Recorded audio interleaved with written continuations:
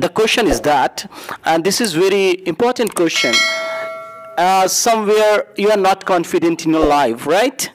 And I strongly believe being confident is the greatest asset you can have in your life right but the question is that how to build your self confidence so the question goes to shashank and he is going to express his views about this particular topic how to build your self confidence Good evening, everyone. My name is Shashank Khumnani, and my topic is how one can improve their self confidence. So here I express my views. So basically, how can one improve their self-confidence? First of all, the one person should have clarity in every manner. Like whatever thoughts or whatever thing he see or whatever the surroundings he live or what is whatever the products he has used or he has see whatever thing. So he must have the clarity about things, clarity about that things. Like one should have to first see that in which thing he is good or she is good. Like some may be good in cooking some may be good in singing some may be good in like dancing. So we should first go inside ourselves and see in which things we are good and in which things we are best. Then we have to work on that things. Like when we go starting doing work on that things so we should make our thoughts clarity. Like there should be a clarity of thoughts in that. Like we should not get confused if somebody asks you that what you want to do in life so we should know about that things that also help us to build our self-confidence.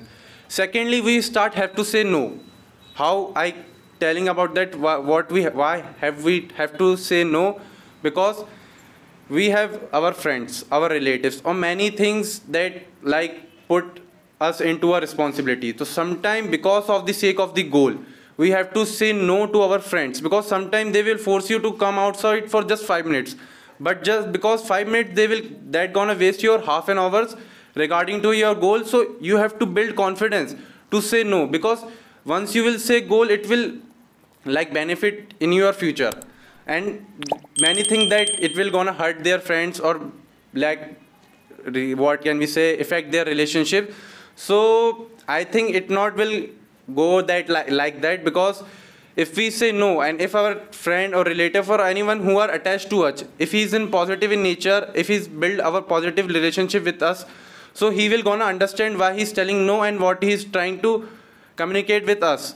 So this is also help to build us this self-confidence. And third thing sorry third thing third things that we have to focus is that start working on yourself. Start telling yourself that you are the best. Once you will create yourself when you create your character in your own mind that you are the best that will help to be boost your confidence. And fourth thing is that start doing that things in which you feel scared. Like go that thing try to do that thing like good. But if you get if you converted that self confidence into overconfidence or you take that self confidence to egoistic so that will cause you the greatest problem in your life because many of us having self confidence because having self confidence but sometimes we get overconfidence and that cause to the many problems. Like sometimes we feel like sometimes we're gonna hurt with our words. Be polite be gentle. If you're self confident yeah express your views express your opinions that's good. But be polite be humble to everyone. Don't show that you are good in something and don't try to like that you are upper from him or upper from her like that. Thank you such sir. a great performance. Have a clap